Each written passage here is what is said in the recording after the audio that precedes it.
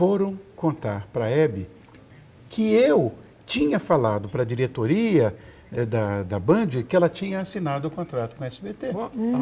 Deve ter sido, Soninha, uma pessoa de nossa confiança mútua, um amigo comum.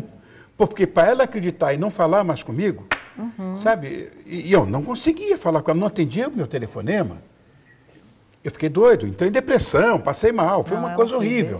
Um dia no- eu estou passando pela, pela, pela marginal, ela estava naquela Mercedes branca dela, aquela enorme, né? Sim. E eu passando do lado dela, e ela abre o vidro, olha para mim e diz: Eu amo você. Eu tenho tanto Liguei para ela, Sim. expliquei o que aconteceu. Você devia ter me falado, Debinha, isso aqui.